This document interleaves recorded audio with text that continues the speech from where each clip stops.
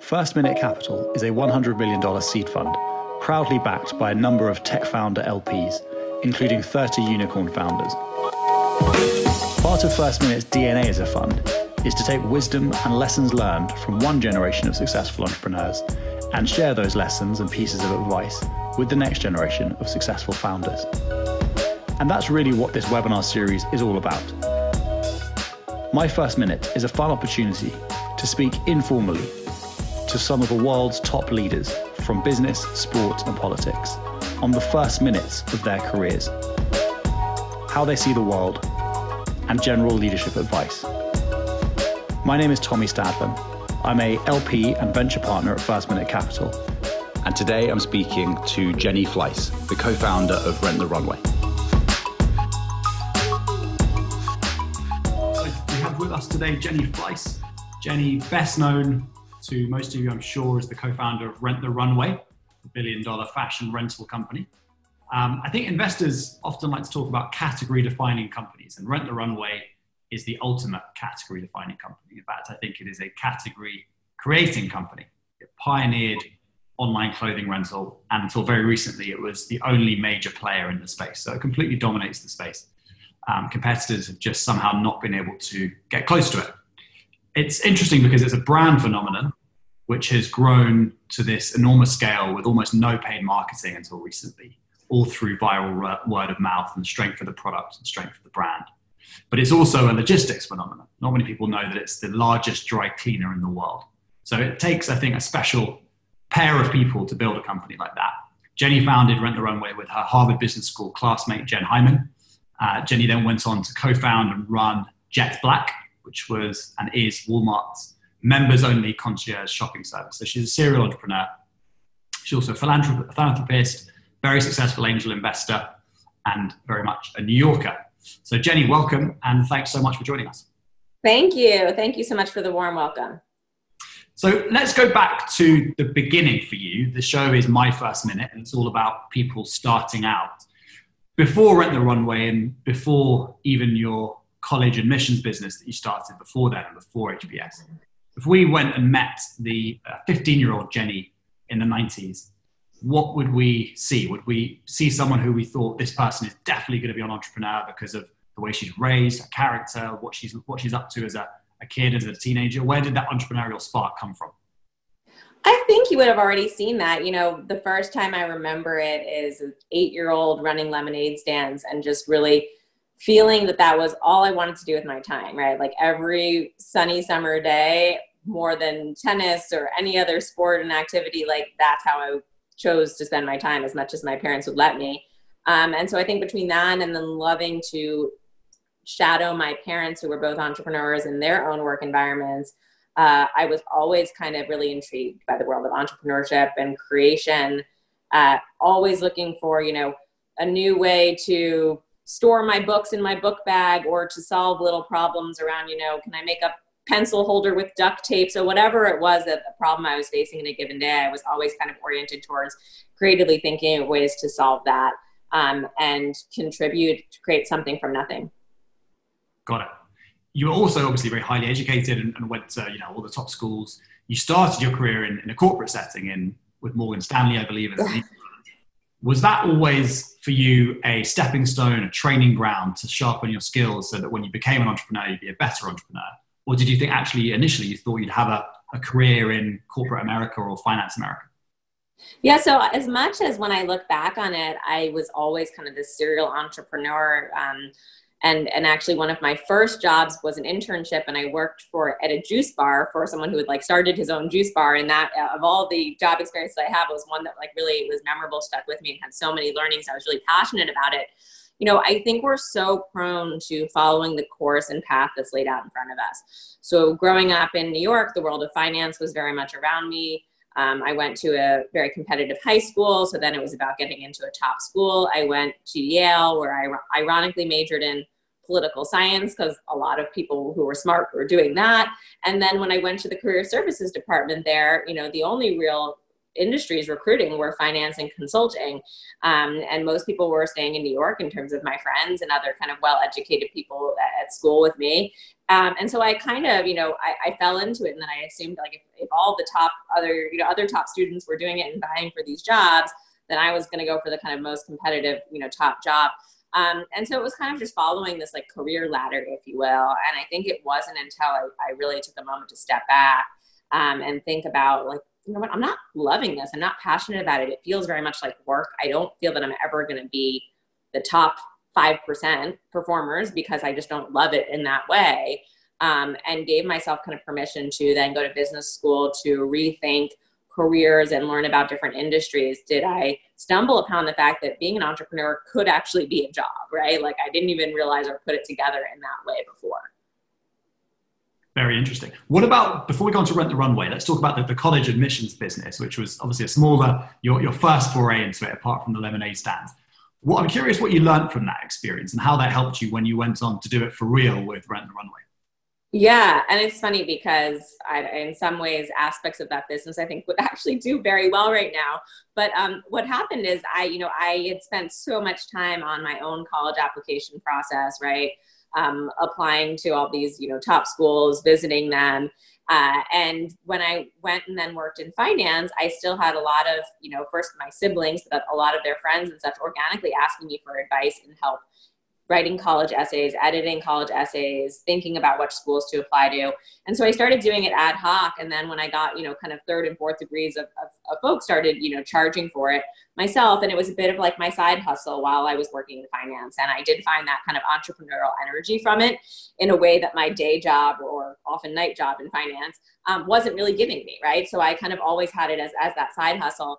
Um, and what I started to do in my real, like, kind of opinion that I started to form in doing this was that if you were able to pair up someone applying to school um, and their top school choice with someone who went to that school as the tutor or advisor, you would have a much more organic fit and a great chance for you know the applicant to learn about the school authentically and to kind of orient their application to a way that was best likely to kind of get them into that school. So that's what I started then trying to do. of Like once kind of I hit my maximum of like full-time job in finance and the couple people I was advising, I started to pull in other peers of mine who had gone to top schools and to try to pair them with other people who were like, I want to go to Dartmouth, I want to go to Harvard, and to try to get their applications kind of aligned there. So it was like a form of personalization in a way to just get people more oriented to the right tutor when I went to Harvard Business School, I started thinking about like what kind of technical platform could I leverage to accelerate and grow this business. And so I spent some time in kind of a field study program working a bit on that.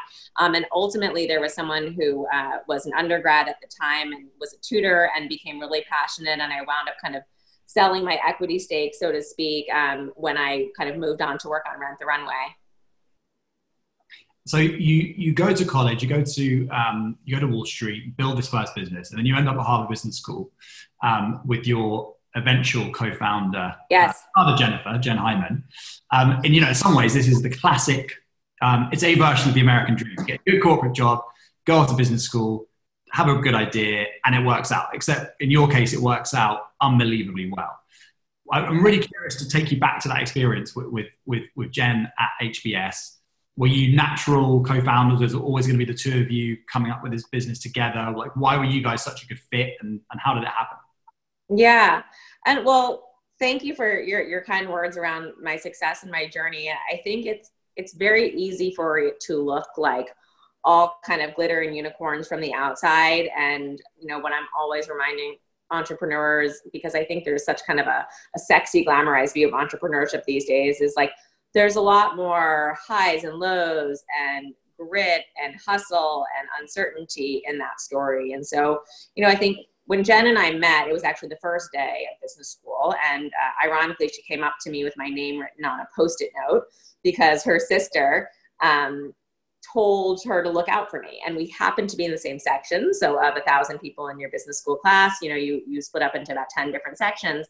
And so we were in the same group of, of you know 90 to 100 people. We had the same name. And so obviously we kind of got to know each other fairly quickly. And for the first year it was much more just as classmates and peers and and we were friendly as well. And we started to see how we each interacted around the case study method which is you dig into a business or a business topic and you kind of deep dive on an aspect of it. And the class is expected to kind of teach teach the class essentially through the students. So the the teacher is facilitating but you really get a chance to hear how different peers think about a business problem. And so it was this unique chance to say I really respect this person. I think they're, you know, bright. They have often a different point of view than mine, but one where we were often, you know, challenging each other and, and I think developed respect for the kind of the different backgrounds and perspectives that we each brought to the table. Jen had a sales and marketing background and I had kind of finance consulting background.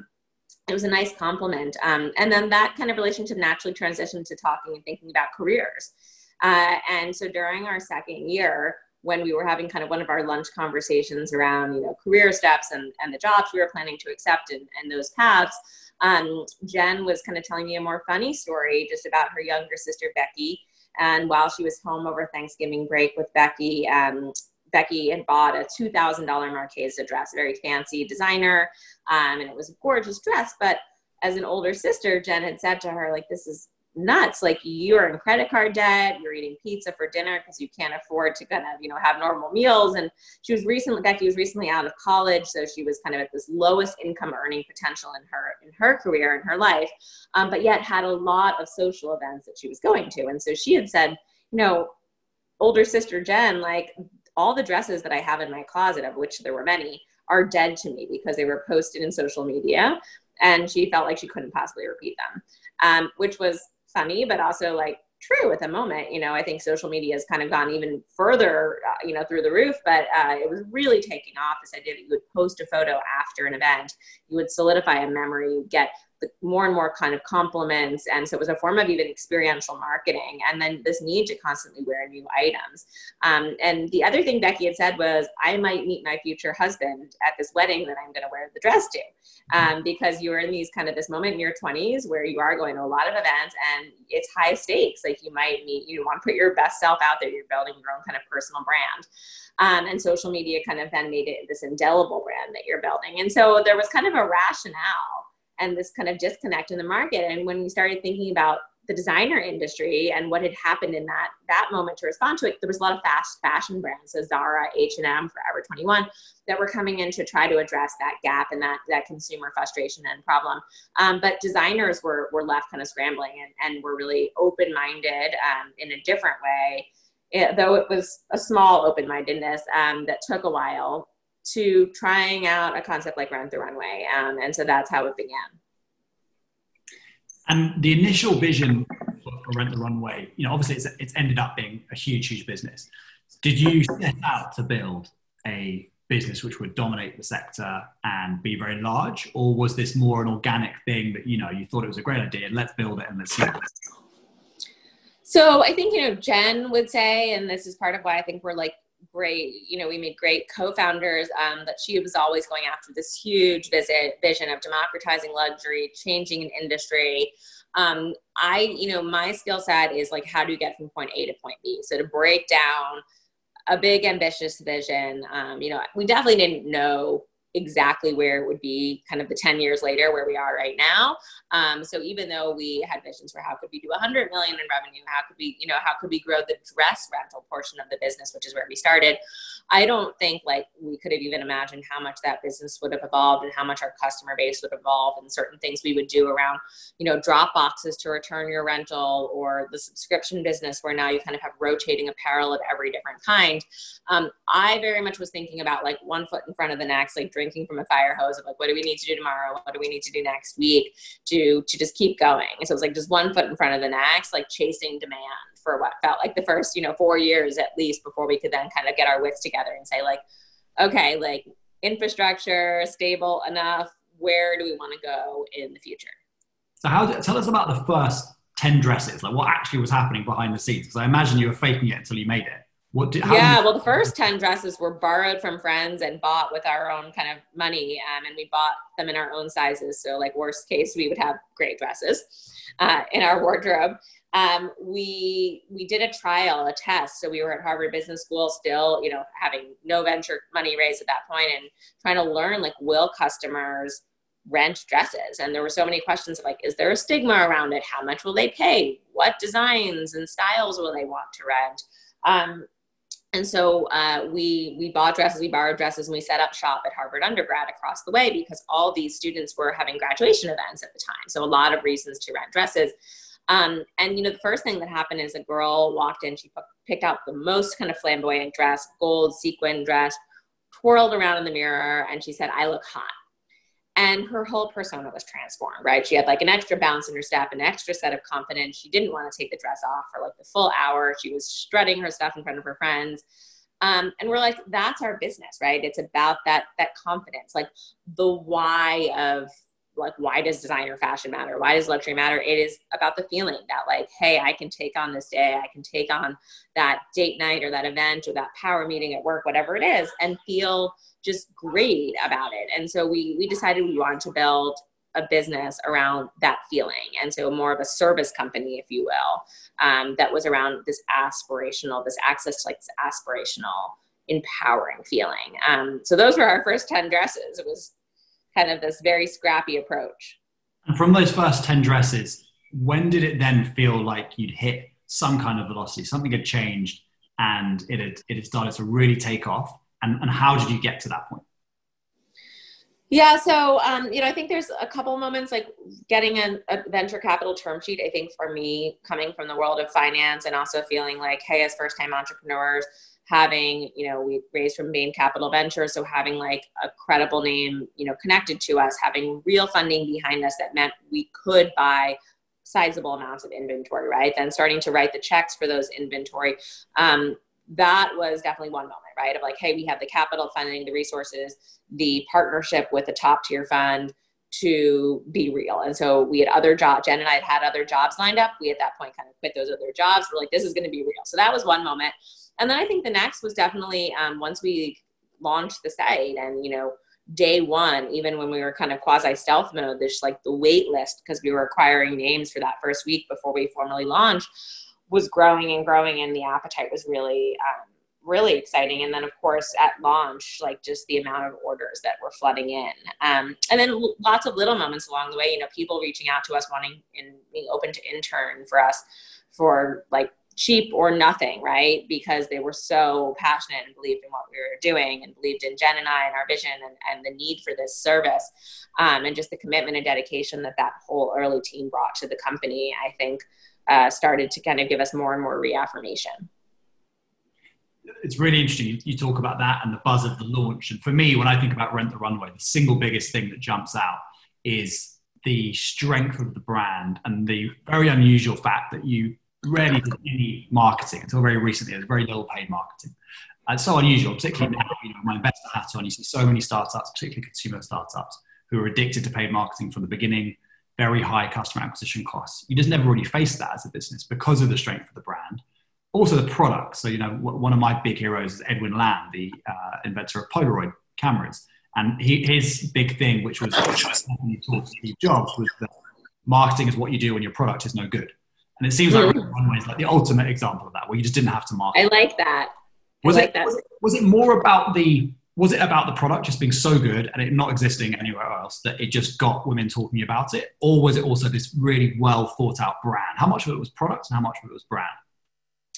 Um, hard to separate the two. You know, I think timing was a piece of it, right? Like I think we hit a moment in time where we saw other industries like the car rental business, where at the time you had Zipcar, right? Or the movie rental business where you know netflix right so like we saw other industries that were being transformed and this like sharing economy told us that there was more open-mindedness from consumers to accept and embrace this change i think the other thing that happened is because of this realization around the feeling that aspirational empowered feeling that we wanted to rent to consumers, that being our business, um, we were very thoughtful and intentional around all aspects of our brand and our marketing, um, realizing that whatever we put out there had to feel magical, aspirational, luxury designer, right? If we wanted you to get that empowered feeling.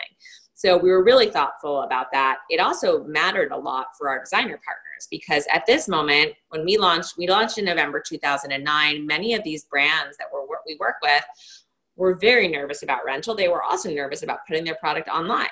and then when they do put them online like it's harder they felt it was harder to control than a retail store like what products are you alongside and next to right like how can they control this equity they've built was really important so by virtue of having to service and get those brands comfortable we also had to build a very aspirational thoughtful brand um, what we did know is that the natural conversation starter between women at almost any event, a day in the office or a wedding, a party, is you look great. Like, what are you wearing? You know, and and complimenting. It's a, it's a great kind of uh, social lubricant.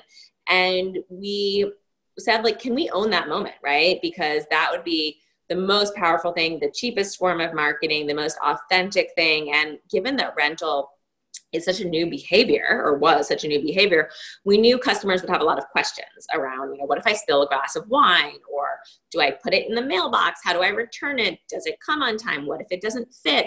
We're like how could we ever answer that in an initial marketing ad? And i think today it's a much more commonplace practice that we, we do use marketing ads more but initially we're like we need to be able to enter a conversation so that a person who's tried it can actually respond to all those questions. So that's kind of what made intuitive sense to us.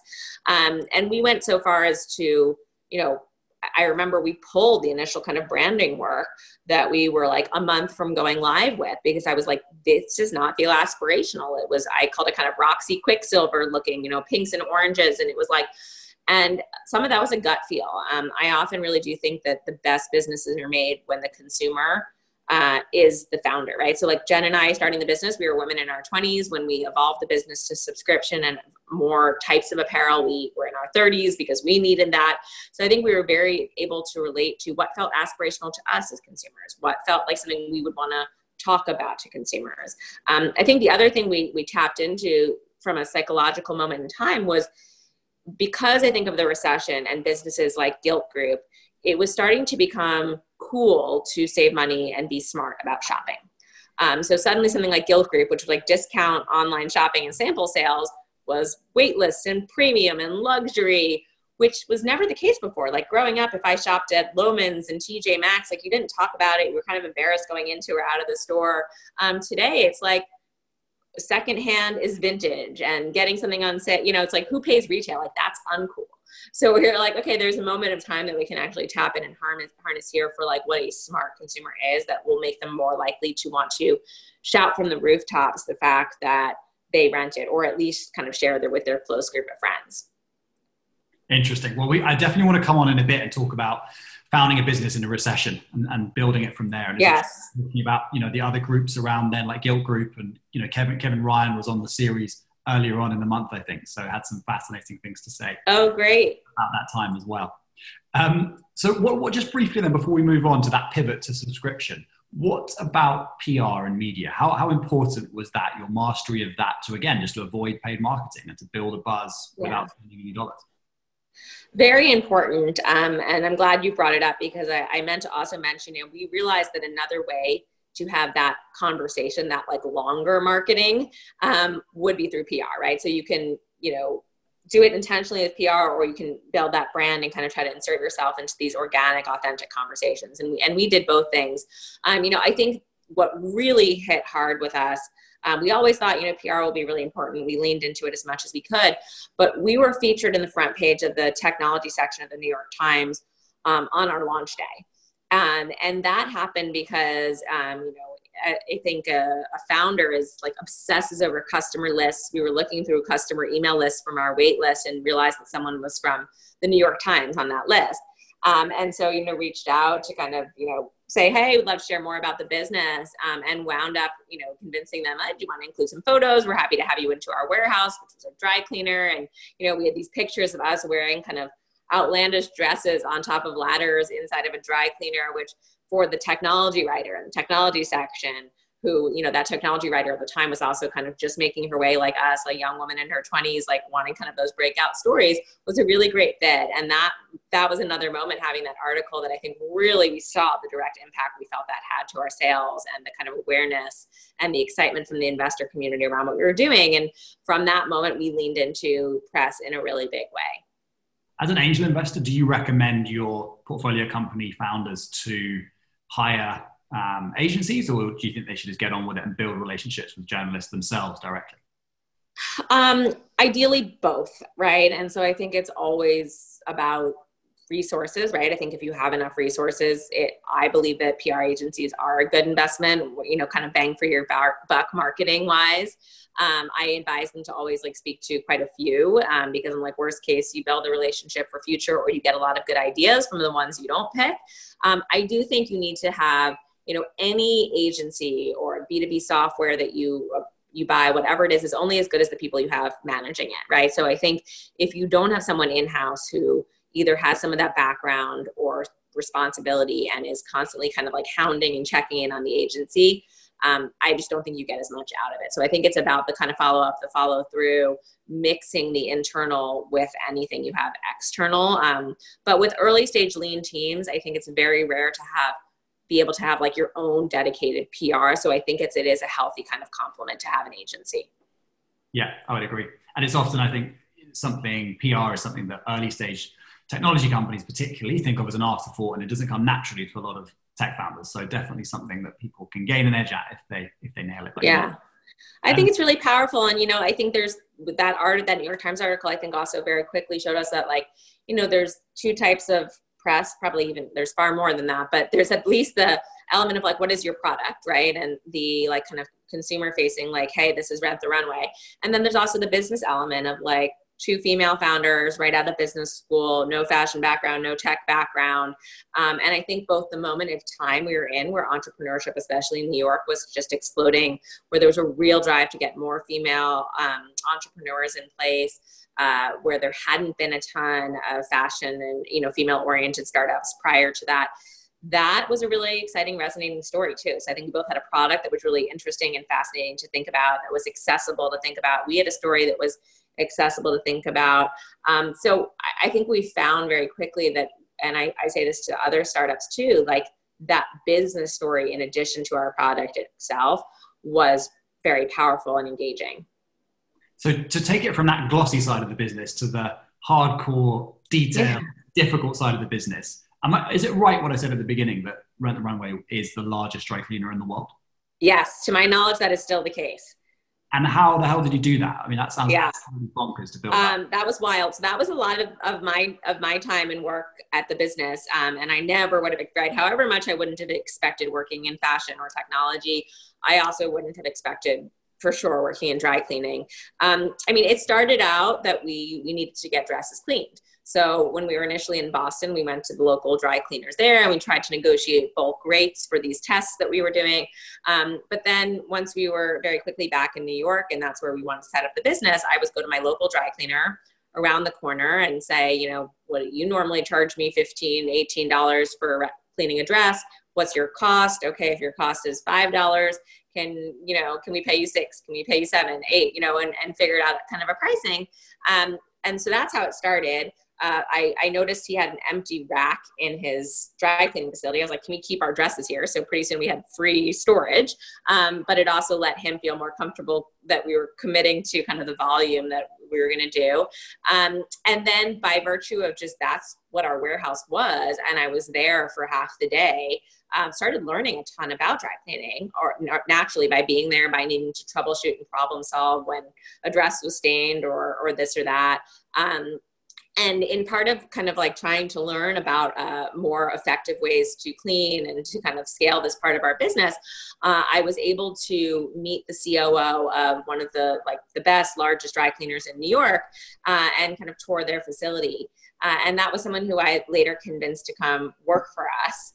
Uh, and when I met him, I said, you know, one day I'm going to convince, you know, you to come work for us and I'm going to hire you. And at that time, it was kind of a joke because we, we I don't think we'd even necessarily launched our business yet. Um, but it, it, happened. And I think in the meantime, you know, he became a mentor and advisor of mine, um, helped me kind of understand a lot of the inner workings of, of the dry cleaning world. And then ultimately we hired him to, to set up our own facility because once we grew out of, you know, one facility, it was very inconvenient to have five different places where we were sending all of our um, inventory to, uh, we needed to turn them around that same day to get them out to the next customer because that's where all of our cash and capital was tied up in the inventory spend. So the turnaround was really quick. And so we very quickly realized, you know, we, we needed to have dry cleaning co-located. Um, and, you know, I think where we've taken that part of the business, we now evolved so much IP around different cleaning methods that are less that are faster, that require less wear and tear on the dresses, that are more sustainable, have less chemicals, um, and what fabrics work in the cleaning processes. We have a whole training program for certain um, dry cleaning functions that skill set is just fairly rare or difficult. We have a whole repair team, seamstress team, where we do things like take floor length dresses and recut them into short dresses once enough of them become kind of you know deteriorated on the bottoms. Um, so i think we've really just driven a whole level of innovation. It's it's a dry cleaning plus plus sort of facility now. Amazing it's an extraordinary business with the brand and the logistics going at the same time.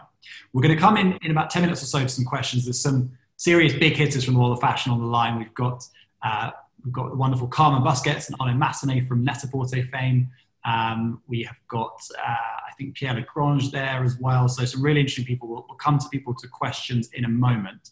But let's just finish off the, the Rent the Runway journey before we do that. Um, you, you, mentioned earlier that pivot, well, not pivot, but that evolution into subscription, um, which I imagine was really important from a financing point of view and eventually as you think about IPO or some kind of liquidity event. Um, was that scary to, to think, right, we're going to have to rebuild the business almost from scratch? The, the concept's going to change, maybe the price point, the demographic might change. Was that a scary thing to do? It was very scary. Um, I think we uh, we had learned some hard lessons though early on around being really careful with inventory selection. Um, and so I think we were we were very thoughtful. We took our time in approaching it and did a lot of testing, um, just the way an early stage startup does um, before we kind of launched into it. So as much as it was scary, it was very well calculated risk that we were um, we felt we could be patient with because we knew how hard the nuts and bolts of our business was. So this whole time, you know, we don't have many competitors and it's because it's a really hard business to run and it's a very hard business to scale.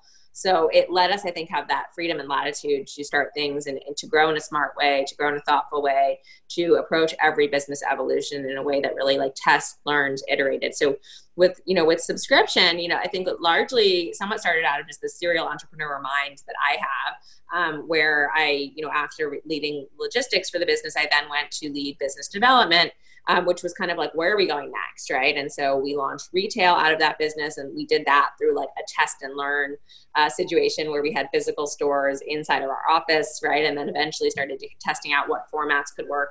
Do we partner with department stores? Do we have our own standalone? Um, eventually, drop boxes emerged from that line too, and then subscription. You know, I think this kind of curiosity of how could we take some of our super users who are starting to use us like 20 times a year and how could we grow? You know we saw how profitable that behavior was and once you convince someone to try rental that's kind of the hardest thing and then they become hooked. Like what else could we do with that core consumer base uh, was was very uh, was a smart way to grow from the, the kind of cost of customer acquisition perspective, but it was also really interesting from the back end logistics perspective because initially we had people renting dresses for weekend events, right? Most people have events on the weekends.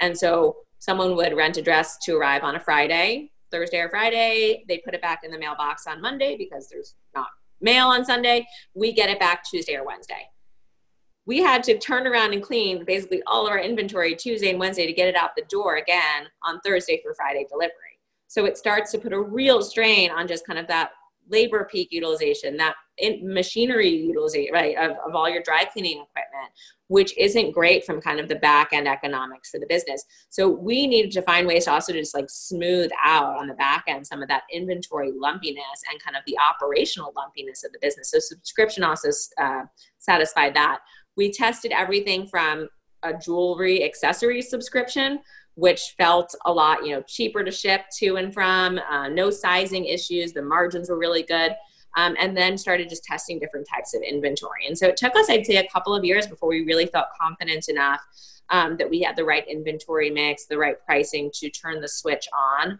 for um, what subscription would look like you know one other thing we did in that time period was we did a lot of pricing testing with our core business. So we said, okay, current customers, um, those who haven't rented, why haven't you rented? One of the biggest things was they felt they didn't have an event. And we're like, well, have you had any birthdays, baby showers, interviews, like any of these? Have you had a date with your significant other? And they were like, oh yeah. And then we're like, okay, well, why not rent for that? And what it came down to was price. Well, it wasn't an event that was worth paying $100 for an outfit just for that or the thought process you know maybe was was too complicated to merit that. And so we're like well what if it was $40 what if it was $50 um, and so we started to realize that if we played with some pricing then you could get a larger share of events that people felt open to putting the effort and the cost into a rental for. Um, and so that was also a great kind of helpful consumer like mentality gateway that gave us the confidence to push into subscription. And i think it's really you know I will say it has grown and taken over to an extent that we could have never even imagined. Just the way it plays into people's lives, the community that's formed around it, the conversations that people have, you know, desk side, the Slack channels that people have at work around like, what are you wearing and renting? And, you know, can you try meet at this hour to try it on in the bathroom so we can see what you think? Um, I think has just been so authentic and amplified what we want to be um, as a brand to our, our community. Brilliant. And the last one on Rent the Runway, then, picking up on what you've just said, what's the future? I know that you're, I think you're still a board member. Um, obviously, it's yeah. your co-founder. What is the future? And are we looking at, you know, the the the, uh, the Amazon rental business, or what, what's what's the vision? Yeah, so it's obviously a really interesting moment. Like we started Rent the Runway in a recession, and I think so many innovative, interesting ideas come out of recessions. Consumer thinking changes. Uh, the opportunity cost of other jobs that pay less or less interesting is lower, so people kind of go to entrepreneurial roles. But this is a different kind of recession, right? And this is one that's actually challenging the fundamental nature of like, do you need to get dressed every day? And if you do, does it matter what you wear or do you need to change over your outfits and when people are you know instagramming and putting social media posts it's less often of them in a fancy dress at an event versus outdoor nature or their kids or a pet, you know, whatever the case, or the food that they cook that night. Um, so it's a very strange, unexpected twist to kind of our world and our value proposition that's, I think, forced a lot of creative thinking in terms of like, what do we mean? What does our brand mean to our consumers? And like, what are other things we can do to empower and embrace this strong community and business that we've built. So a lot of creative thinking to come. And I do think kind of leaning into that like community aspect um, is something that we think a lot about. Um, but I also believe that, you know, and, and what we think about is like, how do we make ourselves as strong as possible so that coming out of this moment, when people are excited to go to events and dress up and, you know, it feels so good to do that, I think we have this huge kind of lift off potential. And so, how do we get how do we kind of accommodate and address that? Um, I think especially because people are not buying as many of those fancy items right now because it's such an unpredictable thing of when can they wear them, what can they do? There's going to be a real need for that. You know, when the flips, the switches are flips to go back to work, I think there's a real kind of like actual need for people to have that that those products and those inventory. Um, and I think we're in a moment right now where everyone is a little bit sick of the clutter of their lives and their closets. Um, and so the element of, of rental and the sharing economy, I think, is just enforced and enhanced um, in terms of like, yes, invest in some of those key pieces in a smart way. But I don't need like, you know, all the dresses I do own, which are few now, but like they've been sitting there. Like, like why do I have these there? It's not a use of my space, my life, the time it takes to kind of consider what I'm wearing every day is just a, a silly waste of a, a waste of time. Um, and how rental can simplify your life, I think, uh, is really an, an exciting opportunity that we're at the forefront of taking advantage of when we come out of all of this. So we're kind of preparing and revving up for that. It's really clear there from what you've said that you obviously think very deeply about the future of fashion and the future of consumerism. You've, you've innovated with Rent the Runway from scratch. You've also innovated from within one of the largest businesses in the world, Walmart, as co founder and CEO of Jetblack. What did you learn from that experience about how corporates can actually have an advantage in certain things when they try and innovate, and then also how they struggle because of their size and scale. Yeah, it was super fascinating experience. So um, I built and ran the first business in Walmart's technology incubator. Um, and the idea was that in addition to growing their core business day to day and thinking about how to evolve their e-commerce site, which they're doing a great job with, um, what would they think about for five years down the road, 10 years down the road, to start to kind of learn and understand different technologies to best position themselves for some of the trends that um, that were, were down the pipeline. And, and one of those areas is conversational commerce. So the idea of shopping with a voice type of interaction, right? And so whether you think of Alexa and Google Home as, as one example, um, and the area that we started um, our work and testing on with Jetblack was around text message, so shopping over text message. Uh, and I think the many learnings that you have with that modality um, were very powerful for Walmart because with a blank field of text message or voice, you can get the raw kind of unfiltered consumer interest demand, the questions that they have. And so the learnings are much more equivalent to what you would experience in a store with a store clerk helping you versus what you try to interpret from data on a website. So there's a lot of information and data that we are able to kind of collect and gather, and a lot of technology that we're able to build that I think will help Walmart pioneer and, and kind of blaze a, a unique path um, that leverages their advantages into the future of conversational commerce. Um, so I feel super proud about that.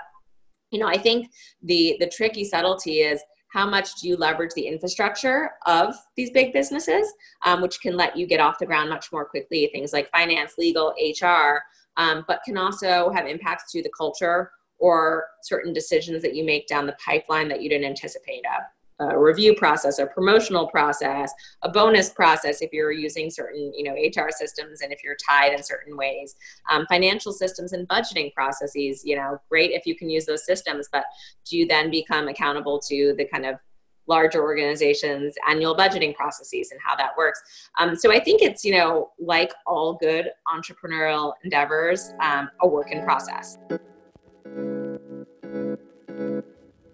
and now we turn to the Q&A.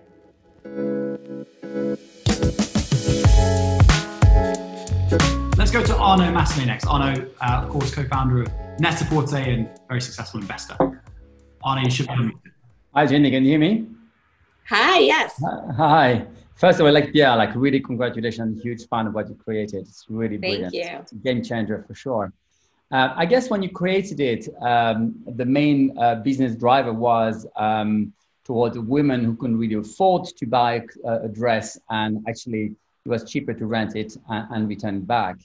Um, now the question is regarding sustainability, and um, there's a great opportunity uh, uh, um, to put pressure on fashion designers who should create collection who could you only rent because then you will force uh, customers to actually that the only option is to rent. And it's not because they can't afford it it's because that's the only way to be able to to, to wear the latest dress from prada or, yeah. or, or, whatever designers. For, so for you is that you as as as the uh, um, creator of such a brand what kind of pressure can you put on brands to create collections specifically actually to to rent and not to buy? That's a really great, uh, great question um, and and great thought of kind of that that angle. Um, I'll break it into two things. So I think you know, first off, the sustainability component of our business. Uh, what's fascinating is like it has always been a sustainable business, right? We we are both as thoughtful as we can be around the cleaning solutions and solvents we use for dry cleaning being as sustainable as possible, the packaging we ship in being reusable packaging. Like we've done a lot in the space, but the mere concept of rental and sharing is sustainable in and of itself. Yet it's only now, 10 years in, in the last year, that I think we've gotten any real credit or appreciation from consumers. So I think to some extent we've been like kind of being out there like saying, hey, and it's sustainable.